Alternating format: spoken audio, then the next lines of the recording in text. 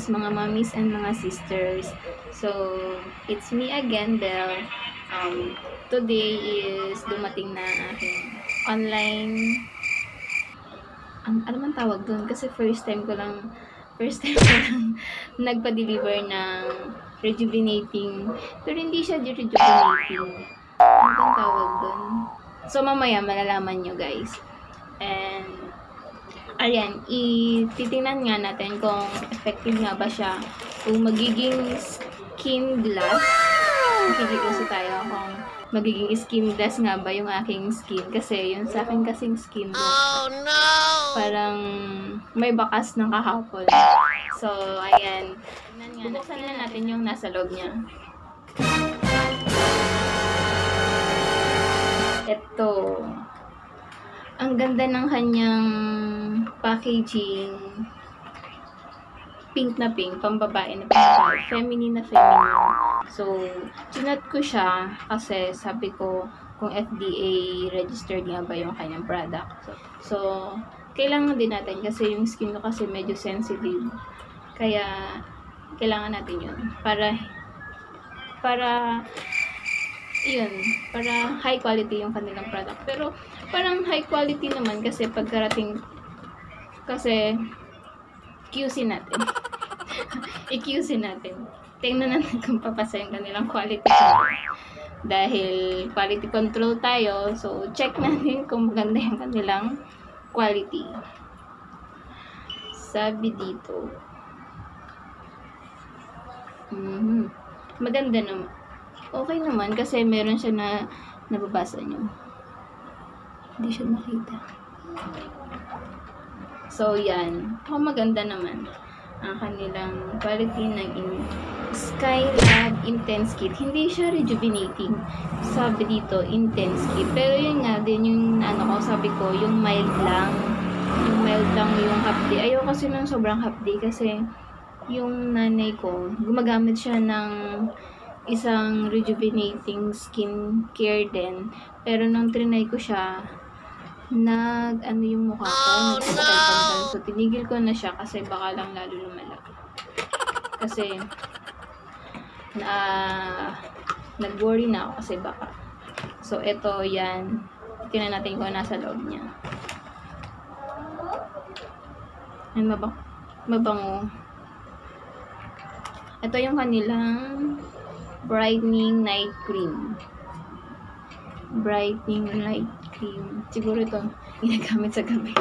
Oh my God! And ito naman yung sunblock. Ito naman yung sunblock gel cream. SPF 45. So, pag sinabing SPF 45, SPF 45, ito yun kasi yung sa araw.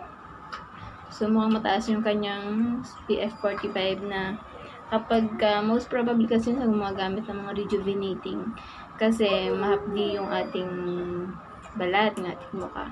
So, kailangan natin ng SPF protected from the sun. So, yun. Ito, para, para pares lang naman sila. Ah, oo, nagkapares sila sa kulay. Kasi ito white. Mga lahat.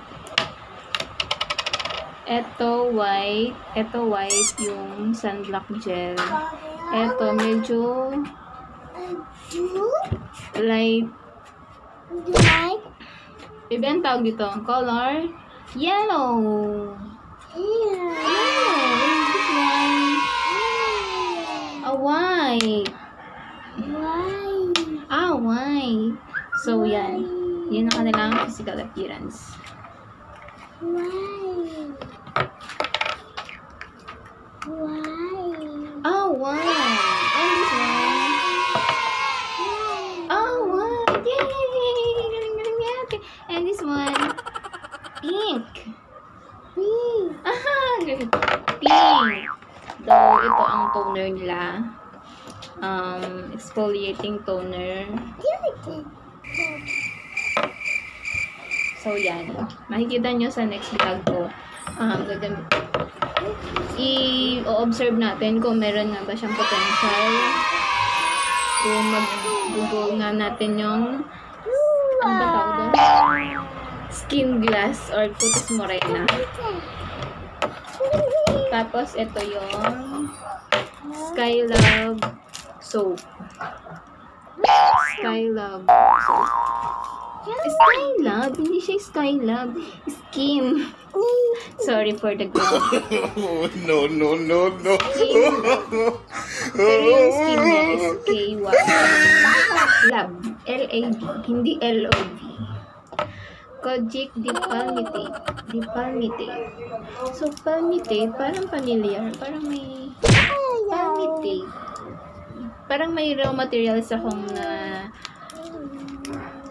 na palmitate. Parang na familiar sa akin kasi nagtatrabaho ako sa isang pharmaceutical company. So, parang familiar sa akin. Kaya, nung, eto, chinek ko, chinecheck ko yung kanilang, yung kanilang, kinag-QC natin. chinecheck ko yung kanilang raw materials kasi meron kasi mga highly acidic. Hindi naman yun sa ano. Kasi minsan kasi, yung skin type natin, minsan may mga sensitive. Yun. Yung mukha ko kasi, yung balat ko, sensitive, sensitive talaga sobra. Kaya yan, hindi ko, hindi, inisip, inisip ko 10 times kung bakit ako na-rejuvenating. Eh, ito nga, parang hindi naman siya masyadong hapde. Kasi ayoko ng sobrang hapde kasi hindi ko kaya. Kaya yan, ito. Ito yung recommend sa akin nung nag-deliver sa akin. Tapos nakachat ko siya through online. So, ayan. Makikita nyo sa next ko kung may potential na ba tong skin care. Ah, Intense Kit Skin Love. So, yan.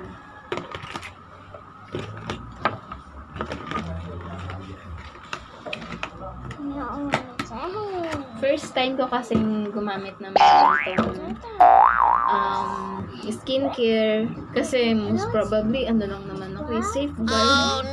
Pero hindi nga pala, hindi yun pang ano, pang, kasi pang body wash siya. So, siguro ma- yung mga nas nakasanayan ng mukha ko kasi eto kasing marks na to, yung malaking pores.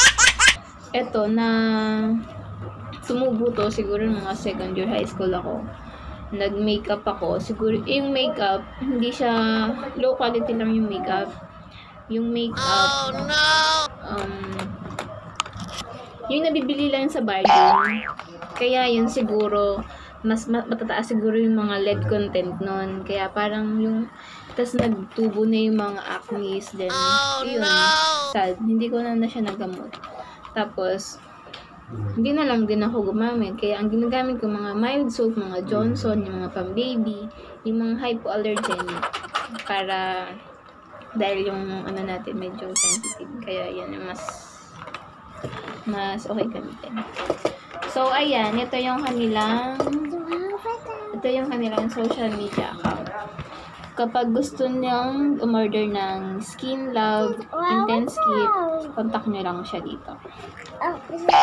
Sa package. Sa, okay. Say bye-bye na, ate. Bye, guys. Bye, guys na. Bye, guys. Bye-bye. See you next